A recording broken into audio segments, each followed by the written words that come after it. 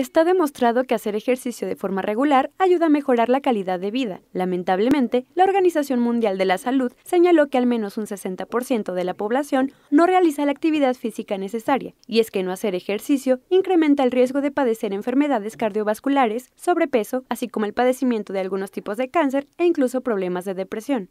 Bueno, cuando vengo a dejar a mi hijo, bueno, traigo a mi hijo a su terapia, me vengo para acá. Son tres veces a la semana. Yo pues soy diabética y me mandaron a hacer ejercicio. Ahorita ya, gracias a Dios, ya he bajado de peso.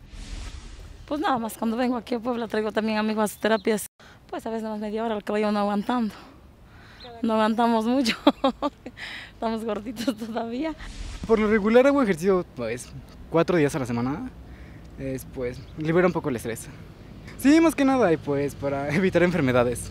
Mm, me hace mejor, bueno, me hace liberar endorfinas y Ah, aparte del estrés.